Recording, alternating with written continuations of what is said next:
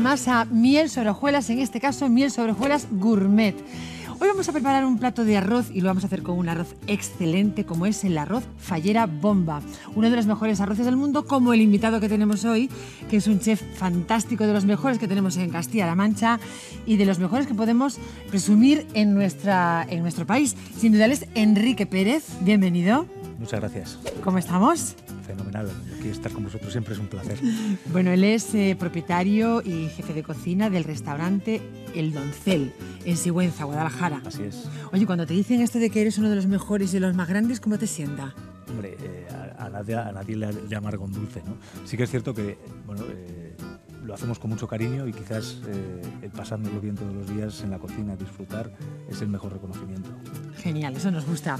Bueno, pues hoy nos vas a preparar una receta magnífica de arroz eh, y, ¿cómo ves? Eh, como pues arroz fallera bomba. Lo que he querido traer hoy es un poco ese otoño ¿no? a la mesa y utilizar las primeras setas de estas, de estas primeras lluvias que hemos podido recolectar. Nosotros estamos en Sigüenza casi a mil metros de altura, rodeado de pinares, de encinares, los cuales también nos dan, nos dan pie a, a, disfrutar de, sobre todo de los tres productos que, vamos a hablar hoy. En concreto, es todas las setas. Hemos traído, en, principio, cuatro variedades de setas silvestres, por ejemplo, sedulis. Hemos traído algún níscalo, algún lactarios deliciosos. Hemos traído algún champiñón silvestre, que es lo que se conoce como, como champiñón clásico. Y hemos traído alguna seta de carbo, que es el Pleurotus ostreatus o Con un aspecto inmejorable. Quiere decir que nuestra compañera Sonia, la productora, cuando ha visto estas, esta cantidad de setas, ha dicho, ¿qué seterío? ¿Qué seterío, ¿no? ¿Qué pues, seterío? Pues hemos querido traer esa parte de nuestro campo, de nuestros montes, acompañado también de otro de los protagonistas del campo, ¿no? que, es la caza mayor, en este caso se dio toda hace poquito, y hemos seleccionado el, quizás el animal que es más selectivo a la hora de comer y quizás uno de los más, más sabrosos. En este caso es el corzo. Hemos sacado los bonitos y los bonitos del corzo para, para, hacer esta receta y vamos a acompañarlos, vamos a conjugarlos todos en un plato haciendo ese arroz fantástico de, la fallera bomba que da pie a que sea un arroz que adquiere y absorbe todas las, todas las propiedades, tanto de los caldos como de las setas y todos los sabores que le vamos a aportar, eh, lo integran bastante bien. Entonces vamos a conjugar ese plato. ¿Cuáles son los ingredientes que vamos a utilizar entonces para este arroz? Vamos a hacer primera, primeramente un caldo, un caldo para esos arroces secos que nos enuméramelos, enuméramelos. Bien, pues primero el, caldo del arroz, tenemos el protagonista de la carne que es el corzo, tenemos una marca del arroz, que son las verduras, el pimiento rojo, la cebolla, el pimiento verde, un poquito de ajo, ese azafrán de la mancha que nunca nos puede faltar. Tenemos nuestras setas como protagonistas y luego vamos, vamos a integrar ese, otoño con, con, varias hojas secas ¿no? que, nos producen, en este caso vamos a, utilizar tupinambo, chiribía eh, frita y, liofilizada y un poquito de espinaca también que, que nos aporta crujiente. Aderezándolo todo con alguna buena hierba aromática como son los tomillos que le van a aportar también ese frescor y esa, esa, parte nasal del plato. Fantástico. Bueno, yo quiero comentar a los espectadores que el arroz Fallera Bomba es uno de los mejores arroces del mundo y que la producción del arroz bomba es limitada debido a sus delicados e intensos cuidados. Es el arroz redondo preferido por los expertos arroceros. Posee unas excelentes cualidades de textura que hacen que permanezca siempre en su punto. Y seguro que estás de acuerdo conmigo con lo que acabo de decir. En todo lo que has dicho. ¿Verdad que sí? Venga, pues vámonos al lío, que tenemos muchas ganas de lo primero que saber vamos a cómo hacer lo haces. vamos a poner el caldo a calentar. Uy, espérate, vamos a poner el caldo a calentar y vamos a subir la temperatura de los fuegos que se nos ha eh, bajado por aquí. Eso es, pues arriba a tope, el caldo a tope Bien, ¿cómo has preparado ese caldo? Pues el caldo lo que hemos hecho ha sido utilizar eh, parte de las setas para hacer una cocción. Hemos utilizado un buen caldo de, ave, el cual hemos cogido las carcasas, hemos cocinado salteándolas un poquitín, con una buena brasa de verduras, todo puesto a cocción y en el último momento lo que hacemos es eh, majar un poquito ese azafrán, incorporarlo y dejar que todo eso hierva y que aporte todos los sabores. Que vaya cogiendo su jugo. Como las setas colarlo, dejarlo bien limpio, quitarle parte de la grasa, no toda, porque luego nos va a dar también un poco de untuosidad y, y melosidad en la boca. Y lo que hacemos es dejarlo bien caliente Decir también que esos caldos cuando se reducen demasiado eh, son muy potentes y la sal que le vamos a aportar al final del plato va a ser la menor parte. Vamos a ponerle una pizquita de Probaremos ese arroz cómo va evolucionando la cocción y le añadiremos una pizca más de sal. Muy bien. Mientras tanto está calentando. Sí, vamos a servir también esta otra. Lo que vamos a hacer es eh, poner una sartén a fuego fuerte. Ajá, pues para mira, ya estoy subiendo aquí la temperatura. Perfecto. Y mira por este lado me voy a adelantar también para que vayamos avanzando con la temperatura de los fogones de miel sobre hojuelas. Así es. Muy bien. Bien, pues lo que vamos a hacer lo primero es marcar esta carne. Tiene, Bien. tiene una pinta ese lomito de corzo. Piensa que es una de las, de las mejores partes de uno de los mejores animales eh, que es mucho más, más suculento y más sabroso. Vamos a dejarle, si tuviera algún nervio, algún, algún este trocito, lado. Muy lo que bien. hacemos es limpiarlo de esos, esas pequeñitas tiras de, de piel y nervio que Y mira que está ya tener. limpito, ¿eh? Hombre, o sea, es una hemos- pizquita de Lo nada. hemos traído ya un poquito más trabajado. ¿no? Estamos además en plena temporada ya de caza. Sí, la verdad es que la caza es, eh, es uno de los, de los recursos más importantes de, de Castilla-La Mancha. ¿no? Eh, pongo piensa así. que nos aporta una riqueza innata y, y sobre todo mm, la, la posibilidad de degustar ¿no? Eh, esa- esos animales bravíos. Y desde luego que es una suerte que además, teniéndolo en tan, tan Lo cerquita, tenemos a mano. eso- lo tenemos a mano y tenemos que aprovecharlo. Bien, pues vamos a salpimentar un poquito. Ujú. Sal pimentamos, o sea, eso quiere decir. Sal y pimienta. ¿Es importante que añadamos esta pimienta?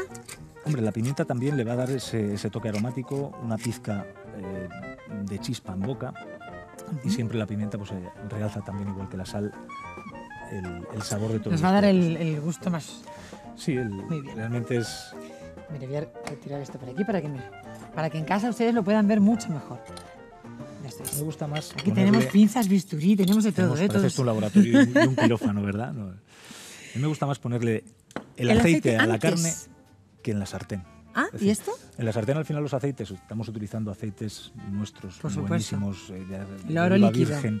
Lo que hacemos poniendo en la sartén es elevarlo en temperatura, quemarlo y perder esas propiedades que tiene el aceite. Con lo cual, y aparte que... ¿Y Ah. esto lo aplicas habitualmente en la- casi todas las carnes? Por norma general, entre carnes y pescados, lo suyo es salpimentar y aderezar la, sal de. y, y el aceite antes de. Ah, bueno. Y aparte vamos a ahorrar bastantes litros de aceite, ¿no? Bien. Es un masajito de aceite antes de, de entrar a la de, de que vaya a la sartén. Muy bien. Subimos aquí Comprobamos que, que tengamos la Bueno, sartén ¿ahí le bien calentita. puesto Le he puesto una gotita Una simplemente gotita porque, porque no se nos vaya a pegar en exceso. Ah, bien. Y vamos a esperar un pelín. Vamos a Sí, esperar un vamos pelín a que- subir aquí que esta se nos- temperatura. se nos caliente porque si no, si la sartén no está bien caliente, lo que vamos a conseguir es que se cueza la carne en vez de que se marque y se sellen los jugos. ¿vale? Lo que Vale. vamos a, a conseguir hoy es dorar toda la parte externa de la carne, pero preservando todos los jugos en su interior, de tal forma que luego cuando cortemos la carne y veamos eh, el interior, podamos saborear y degustar una carne jugosa, con sabor y sobre todo que no esté dura. Vale, pues mientras se va a terminar Sí, de coger a temperatura la sartén, Vamos, vamos, a ir adelantando un avanzar en poquito la, marca del, del arroz. Fenomenal. Como os decía antes, lo que hemos hecho ha sido eh, picar un, buen pimiento rojo, un buen pimiento verde, Ujú. aderezarlo con un poquito de cebolla, un dientecito de ajo, limpiándole ese, ese germinado interior para que evitemos que, que pique. Y lo que hemos hecho además estupendo, ¿eh? ha sido ponerle, para conservarlo, un poquito del mismo caldo de cocción. del Ah, muy bien. Entonces ahí vamos añadiendo, si mira, esto ya estoy, dice que está calentita. Vamos a hacer un arroz La generoso, ¿no? cazuela, Para luego sí, probarlo. por favor. Y además eh, estamos en una hora perfecta para que nos vaya entrando todo el hambre del mundo. Ahora que empiece a, a salir los aromas de- del arroz, veremos cómo van, cómo van creciendo. ¿Cómo van creciendo? Lo vamos a dejar aquí que saltee un poquitín. Vamos a ir marcándonos la carne. Sí, que ya esa sartén que tiene yo que creo estar que ya, en ya el estaremos punto. a punto. Ajá. Muy bien, esto lo voy a dejar así. Sí, lo bajamos a esa bien. temperatura que está perfecto. Ahora ya Ahí sí, la sartén es la que nos dice que está cuando, cuando nos habla. Vemos ese, Ah.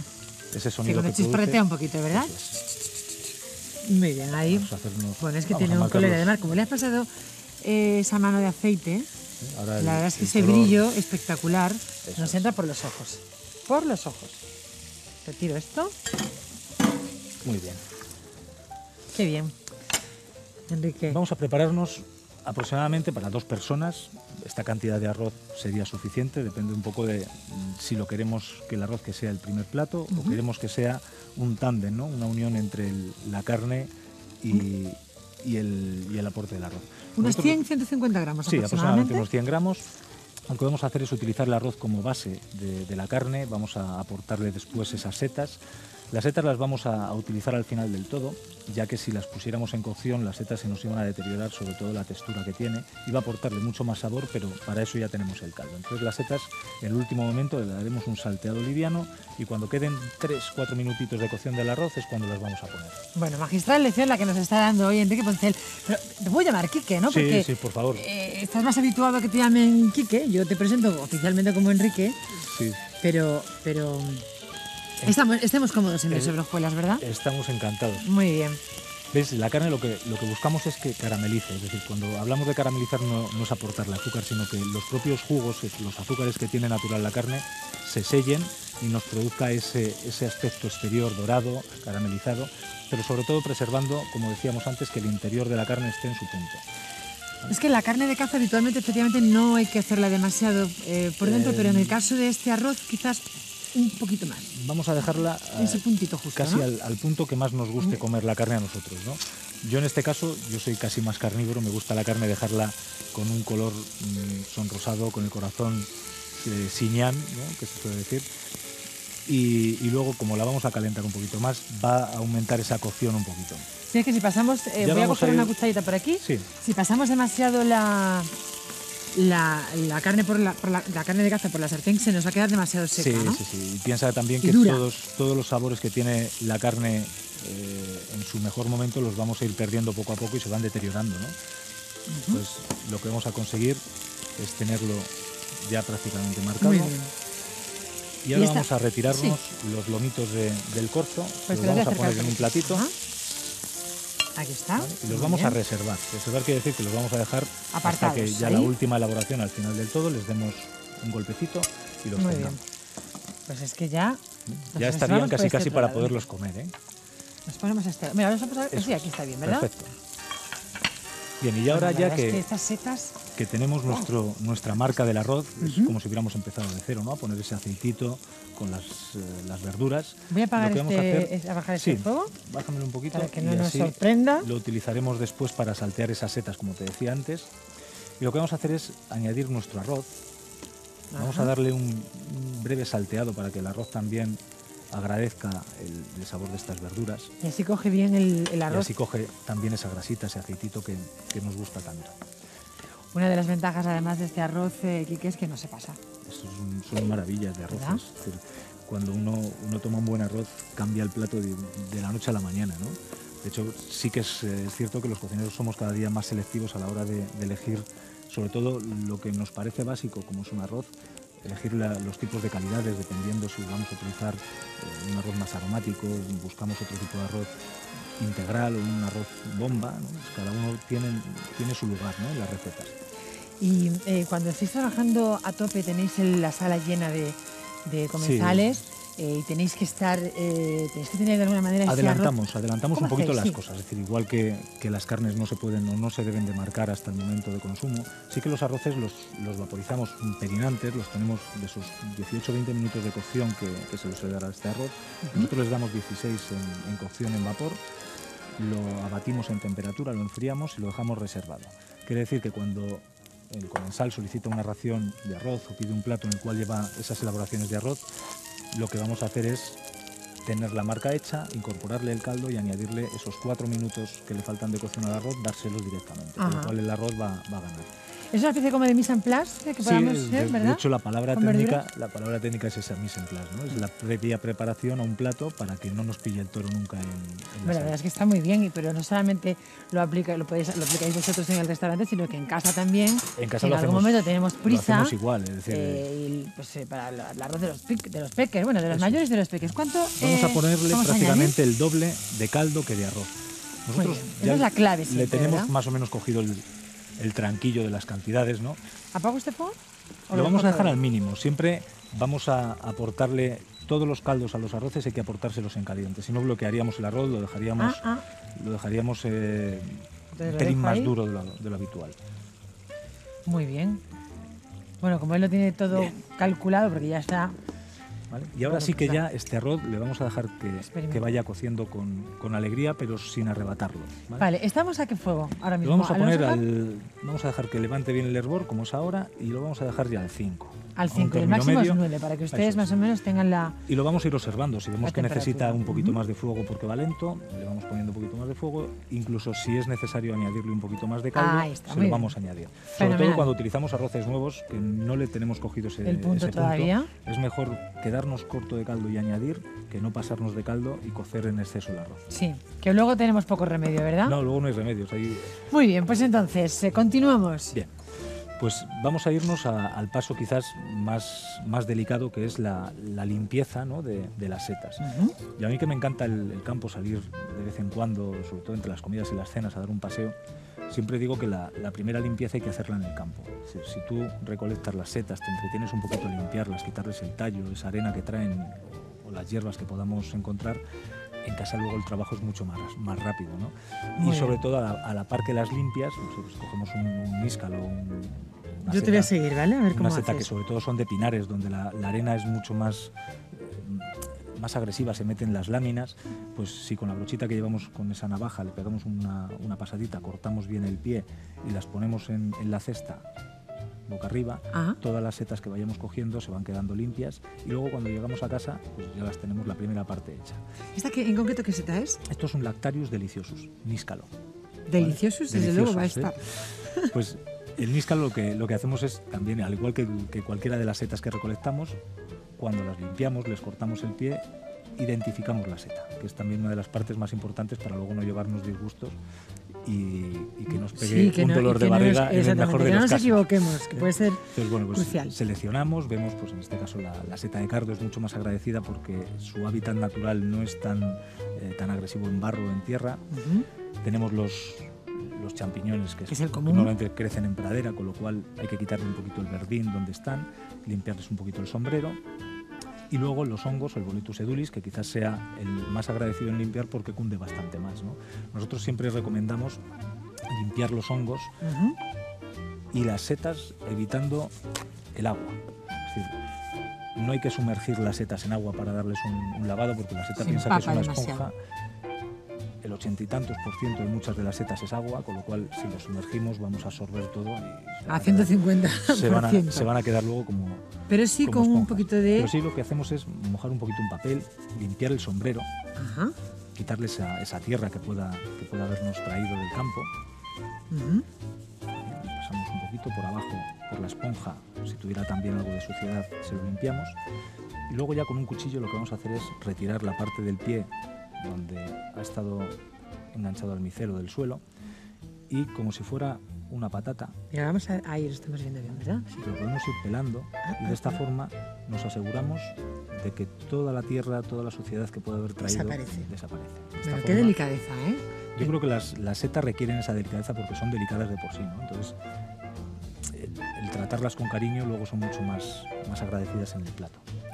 Agradecidos estamos nosotros de la lección que nos estás dando un gusto. es mío el, estar aquí con vosotros hoy. De verdad. compartir estos manjares del, campo. Que, Además, tú eres un gran amante de, las setas.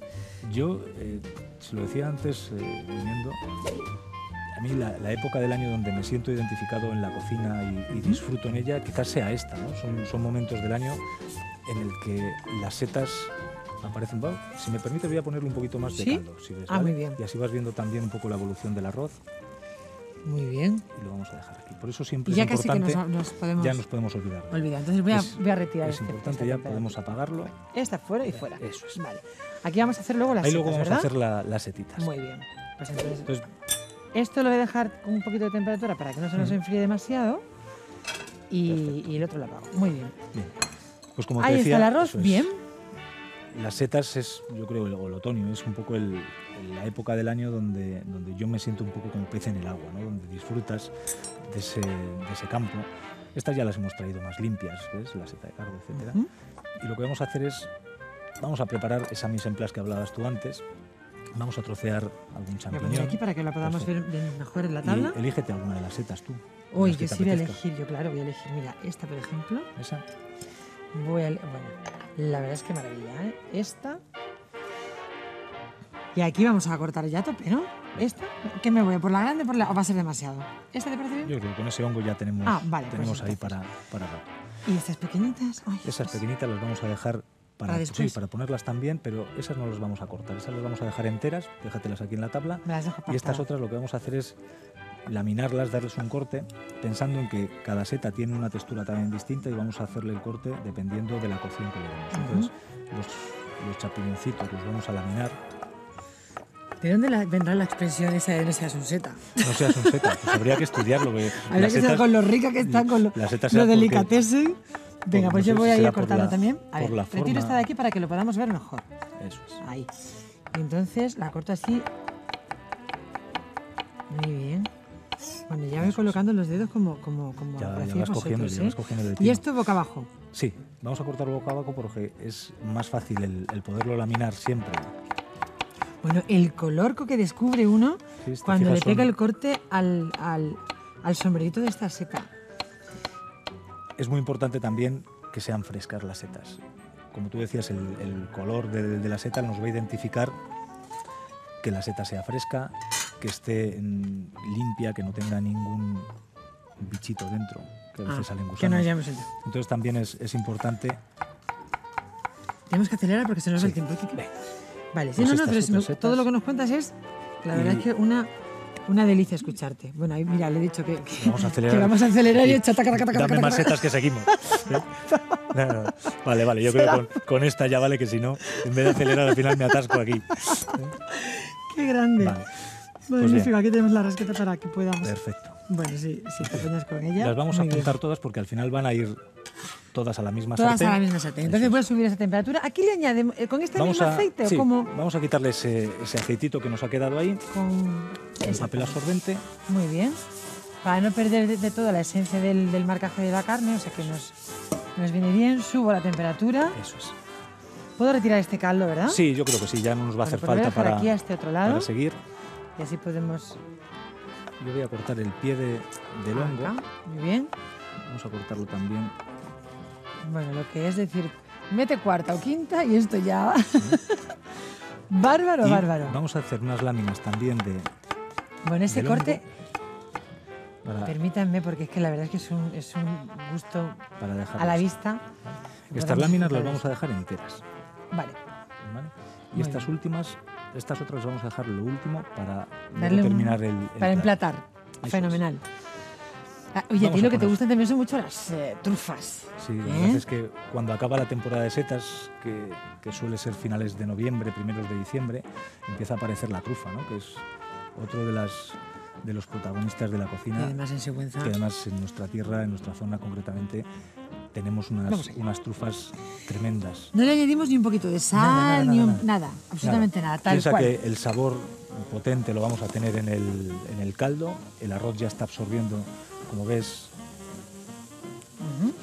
está cogiéndonos este, este colorcito del azafrán, de la mancha, que, que es importante. Tenemos el sabor de las setas que previamente hemos hecho en el caldo.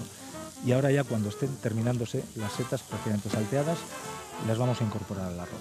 Vale. De tal forma que lo dejaremos a fuego fuerte, lo dejamos ya seco y mientras tanto ya terminamos de darle un calentoncito a la carne y emplatamos. Bueno, pues entonces yo creo que vamos a dejar que se vayan haciendo estas sesitas. Así es. ¿eh? Y volvemos a lo mismo. Perfecto. A mí me encanta, con estas setas es para decirme qué setas son. 18 minutos lleva este arroz fallera bomba Ahí. ya en la cazuela y faltan apenas dos minutitos, Dos minutitos. para terminar la cocción. Ahora ya las setas las tenemos salteadas, tenemos esa, esa menestra, ese panache de setas. Lo que vamos a hacer es añadírselas. ¡Wow! Añadimos estas setitas Esto es un espectáculo. ¿vale? y vamos a dejar el aceite en la sartén a fuego fuerte. Muy bien. Bueno, es que La tiene de- esto un aspecto. Ya va adquiriendo una pinta, ya la iba teniendo desde que tenemos el arroz. ya con- arroz con, fallera el caldo bomba. pintaba bien, ¿no? Con La el caldo ya pintaba bien. Ahora que le hemos añadido Ahora ya lo esta tenemos, variedad de lo tenemos setas, casi casi terminado. Bien, marcamos pues las, vamos a ponerle las- una gotita de aceite en la sartén Bien. y lo que vamos a hacer es ponerle Está el fuego a tope además. Muy bien. estas dos setitas de los hongos que hemos dejado antes. No te Apartadas. me vayas. Ven aquí. Ey, no, que se escapan. Muy bien. Una seta aquí, otra aquí. Y vamos a saltear también estos botoncitos de setas de cardo, chiquititos, que los vamos a dejar aquí. Mientras tanto, se terminan. Mientras se arroz- termina, fíjate lo que te voy a decir, que me gustaría que habláramos de ese libro que has eh, publicado Sí. junto a tu hermano, Mezclados, tu hermano mezclados. Eduardo, ¿eh? Es, eh, que, es una alegría La verdad para, es que sí, es para los amantes de, de la cocina Es el segundo libro que y de hemos la hecho. coctelería, por supuesto. Y, y bueno, mezclados se resume a tres personas, en concreto Joaquín Fernández de Dickens, Eduardo, mi hermano y un servidor. El que de San Sebastián. Sí, eso es. Que apoyados con los grandes amigos de la cocina de, de Castilla-La Mancha y de este país, desde Pepe Rodríguez, Manolo de la Osa, todos los, grandes, Los grandes. de aquí de, de la región, Jesús Velasco, Arzac Juan María también. Arzac, Pedro Subijana, Martín Berasategui, Quique da Costa, Paco Rancego. Podríamos enumerar a, a todos los, La buenos amigos que nos han, nos han dado esas recetas. Y lo que hemos hecho ha sido mezclados, llamarlo por dos motivos. Uno porque el cóctel es una mezcla y otro porque mezclados estamos cocineros y barmans. ¿no? Los barmans ejecutan una receta de un cóctel, los cocineros ejecutamos un platito a modo tapa, ración, para conjugarlo y maridar ese, ese plato. ¿no? Qué bien. Pues Bueno, es una pues- delicia que hayáis tenido esta iniciativa. ¿Están ya estas setas mercaditas? Estas setas las tenemos ya para darle la vuelta. Y este arroz está para meterle el diente. Fíjate, Vamos, falta de que el, de que el jefe nos diga, nos dé el ok. Pues, El arroz Le lo falta tenemos. ya muy poquito. Lo ¿no? vamos a dejar casi Oh. que ya apagado. Lo apagamos para que, sí, repose. Para que repose un poquito un y mientras poquito. tanto, ese minuto, minuto y medio que le falta, volvemos a meter esta carne acompañado de las setas. Impresionante. Impresionante. Yo voy a retirar estas cositas por aquí que nos van a despejar el campo para que podamos ver tus últimos, Dicen que la cocina no solamente hay que ser recogido y ordenado, sino parecerlo. sino parecerlo. Bueno, eso siempre, no es. solamente que serlo, sino parecerlo. Bien, pues si te parece, te voy a ¿Podemos quitar este plato, que me, me encanta. Ay, sí, plato de me está. ¿vale? Yo creo que vamos a, bien emplatar, aunque esté un pelín lejos, pero lo vamos a emplatar ¿Sí? desde ¿Te va aquí. bien a esa altura? Sí, está perfecto. Esto lo voy a quitar por aquí, porque ya no lo vamos a necesitar. Y ya fíjate, Me este encanta. arrocito se queda untuoso, se queda meloso Muy bien, las ¿Vale? pinzas, muy bien. Oh, y ya prácticamente lo fallera bomba, además es que no falla, ¿eh? No falla. No falla. Espectacular. Bien. Ese color caramelo que nos decías que le daba. Sí, ese aporte, ese aporte caramelizado ¿no? de, de la carne. Muy bien.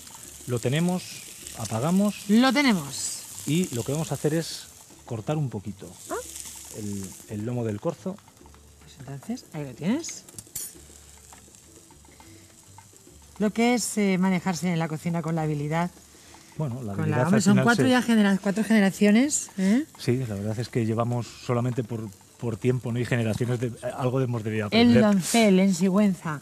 No dejen de visitarlo, además eh, con unas ofertas, eh, es decir, fantástica para Sí, una escapada de fin de semana. porque que sea apto para todos los Con el públicos. hotel y con el restaurante, vamos. Y bueno, y, y- el aula del Doncel, que tenéis ahí jornadas gastronómicas, sí, sí, hacemos, catas. hacemos un poquito de todo, tanto para aficionados como para amateurs y Y este año os profesionales. estrenabais también en otra... En otra... Sí, en otro proyecto que ha sido complicado arrancarlo, pero la verdad es que ha estado a la altura y ha dado sus frutos.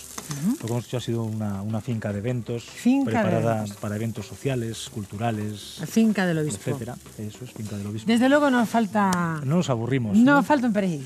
Bien, pues mira, vamos a arrimar aquí. Apagamos Está ya. apagado, está apagado. lo dejamos todo, Todo y vamos a apagado. acercarnos para emplatar. Vas a ver que poco a poco, cuando vayamos montando el plato, Ajá. vamos a ir encontrando esos colores del otoño. Vas a ver esos colores ya amarillos, como es este arroz, unos colores naranjas de esas hojas del otoño. Es una delicia Vamos a ver escucharte. esos Eh, tonos burdeos Muy bien. ¡Guau! con esta carne marcadita. Le decíamos que a mí me gusta siñán, es decir, que esté Mira, yo estoy así, que lo que estoy mirando atentamente lo que estás haciendo, porque además no se puede tener más exquisitez a la hora de presentar un arroz. cuesta lo mismo arroz hacerlo bien, bomba, arroz hacerlo fallera bien bomba. mal. Buah, buah, buah. Madre de mi vida. Hay que pecar con esto, Esto siempre. es un pecado, pero venial. Eso ¿eh? es, Esto pero, no- pero esto, esto, con esto con nos esto vamos al nos vamos al cielo. Al cielo, esto directamente. Con esto nos Son- vamos al cielo Son de los directamente. pecados de los que uno se va al cielo sin problema. Además, le dices que sabes hacer este arroz y te abre la puerta, seguro. Yo creo que con esto no se Yo puede ni morir sí. uno, vamos. Yo creo que en el cielo Eso es la está eternidad. lleno- Está lleno de cocineros, porque si no... Bueno, Enrique, Enrique, eh, Enrique Pérez, Quique. Pérez, para ¿Dónde los amigos, esto que estabas poniendo es Esto es el tupinambo. el lo que tupinambo. Ya antes, sé, es que te preguntaba yo esas- por el tupinambo. Esas hojas que caen de los árboles, ¿no? Crujientes, fíjate, como suenan el crujientito. Y esas hojas secas. Ah, y ahí está ese otoño. Definitivo. ¿Y esas hierbas aromáticas? Una aromática. Muy bien, para, para ese toque final. Le vamos a hacer una alabanza a este. Lo que hay que comérselo antes de que Ay. se enfríe. Lo que hay que darte las gracias a ti porque de verdad una verdadera delicia disfrutar eh, contigo. Vaya equipazo que hacéis tú y tu hermano sin duda. En el restaurante El Doncel, que tenemos la suerte de poder disfrutar hoy desde Miel sobre Hojuelas. Así que no dejen de ir a Sigüenza, que allí siempre serán les esperamos. bien recibidos. Con arroz fallera bomba, no se olviden. Un placer. Dame un beso. Sí. Quique, un placer, como digo. Placer Insisto, muchísimas gracias en nombre de todo el equipo de Miel sobre Hojuelas. Y ustedes ya saben que les esperamos aquí como cada día, en los eh, diarios, en los eh, Miel sobre Hojuelas Gourmet, aquí en su televisión, en la televisión de Castilla-La Mancha. Un beso grande. Adiós.